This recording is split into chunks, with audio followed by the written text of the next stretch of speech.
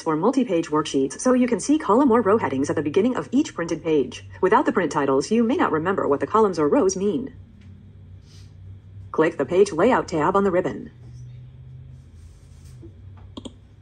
In the Page Setup group, click the Print Titles button. The Page Setup dialog box opens with the Sheet tab active. Click the Rows to Repeat at Top text box.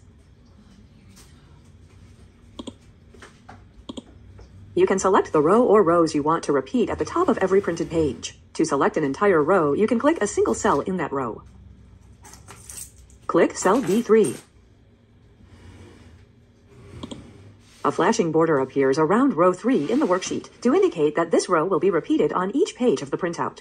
The row 3 reference appears